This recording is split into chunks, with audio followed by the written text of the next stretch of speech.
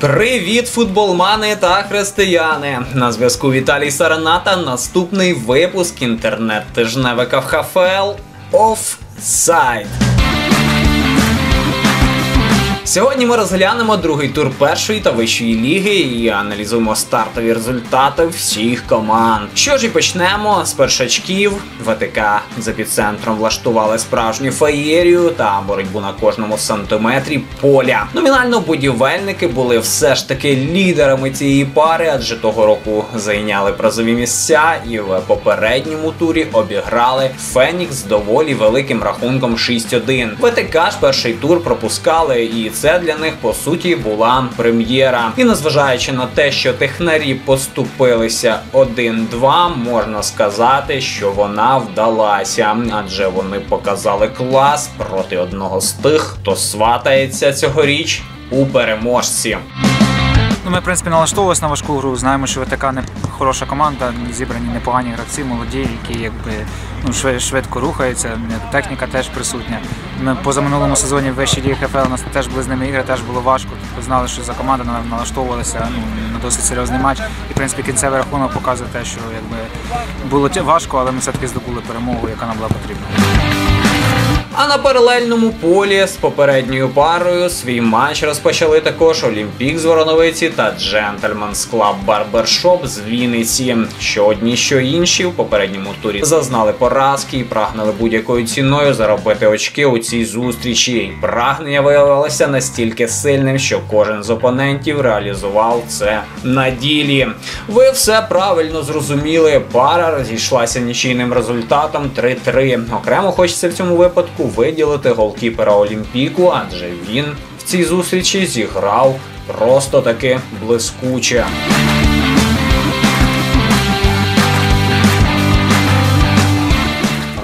В принципі, ігра як задоволені ігрою, але трошки питання є до арбітра. Є нюанси. Так як ми команда нова, нам в принципі привілегій нема. Більше бачу, стараються за минулі старі команди судити. Так, в принципі, доволі, що нас запросили на цю гру. Надіюсь, покажемо якісь добрі результати. Що ж, продовжуємо на черзі. У нас бійка між Феніксом та Вінницькими шершнями. Як ви вже зрозуміли, кожен матч другого туру був блискучим, і цей не став виключенням. Зустрічі першому забили медики, але вже до перерви пташки відродження змогли зрівняти цифри на табло. Але вже на початку другої половини шершні відновили мінімальну перевагу і витримали рахунок до фінального свистка, що й дозволило їм взяти три очки і разом з одним балом та нічиєю з Бухтану. В першому турі вони набирають 4 та займають тверду середину турнірної таблиці з амбіціями на вищі місця. Хорошим запеклим екшеном також відзначилися Легіон та Якс. Тут знову ж таки по грі явного лідера не було, але вінницьким е, голландцям підігрували леді Фортуна. Перший же гол залетів з мінімального рикошету після удару з-за бокової. Далі була реалізація вже з гри, після якої легіонери змогли відіграти один гол. Але в минулому МФК чемпіон показали ближче до закінчення, що цього сезону вони тут для того, щоб перемагати. 1-3, Аякс попереду, і цей колектив наразі є одним із лідерів турнірної таблиці. Також цей день благодать продовжила свою переможну ходу та обіграла Вінницю молодіжну 2-0, а Бухтаун у прекрасному та гострому матчі розійшовся миром зі старожилами змагань Вінфілдом 1-1. І саме зараз на ваших екранах турнірна таблиця першої ліги.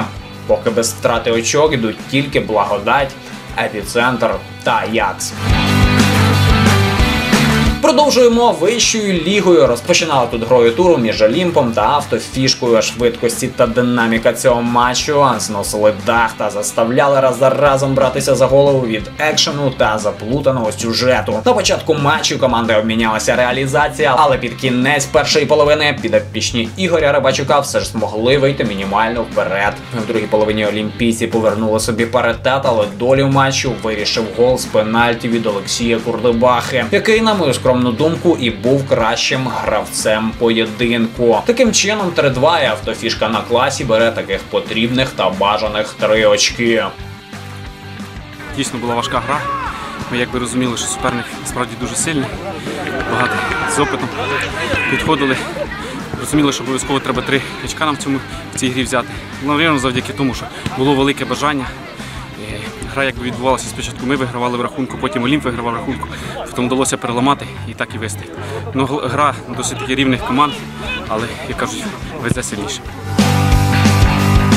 А Куба продовжує дивувати своїми результатами. Так, зустрічі кубинців з арсеналом гості з тропічного острова в своєму своєрідному стилі змогли нав'язати боротьбу зірковому складу та діяти нарівно. А в деяких ситуаціях ще й мати можливість вийти вперед у дуелі. Після 40 хвилин тягучої як карибський джем боротьби було забито 4 голи по 2 у кожну з сіток. І відповідно матч закінчився нічією, яка явно продовжує піднімати рейтинг ще вчора першолігової команди Куба. Играем от игры к игре, выходим, просто по игре ставим цели выиграть игру или сыграть, отобрать очки у лидера, у какой-то хорошей э, команды. Такого не, нет у нас. Мы выходим просто поиграть в хороший футбол и дать бой лидерам высшей лиги. Також цей день автокрот мінімально обійшов таксі 2-1. Інтерате у феноменальному матчі поступився Яско 0-1. Козак Плюс а розійшовся мировою сосункою 2-2. Дельпінія сенсаційно декласувала штурм 4-0. І наразі автокрот є одноосібним лідером турнірної таблиці вищої ліги. Друге, третє та четверте місця за арсеналом, кубою та автофішкою.